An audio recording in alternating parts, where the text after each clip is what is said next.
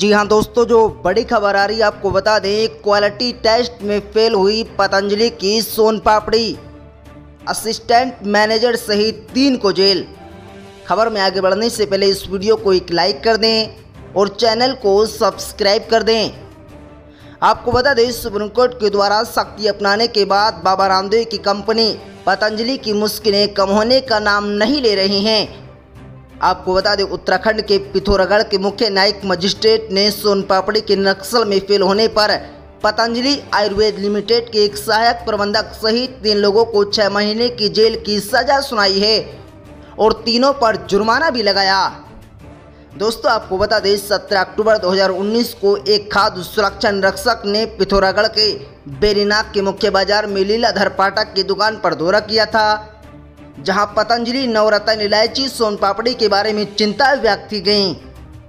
नमूने एकत्र किए गए और रामनगर कहना जी वितरक के साथ साथ पतंजलि आयुर्वेद लिमिटेड को नोटिस जारी कर दिया गया। इसके बाद उत्तराखंड के रुद्रपुर, उधम सिंह नगर में राज्य खाद्य एवं औषधि परीक्षण प्रयोगशाला में फोरेंसिक जाँच आयोजित किया गया था।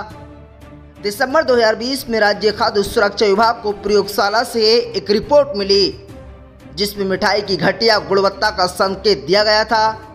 इसके बाद व्यवसायी लीलाधर पाठक, वितरक अजय जोशी और पतंजलि के असिस्टेंट मैनेजर अभिषेक कुमार के खिलाफ मामला दर्ज किया गया।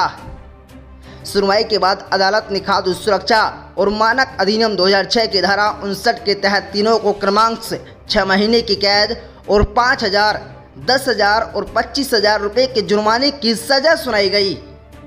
अदालत ने अपना फैसला खाद्य सुरक्षा और मानक अधिनियम 2006 के तहत सुनाया।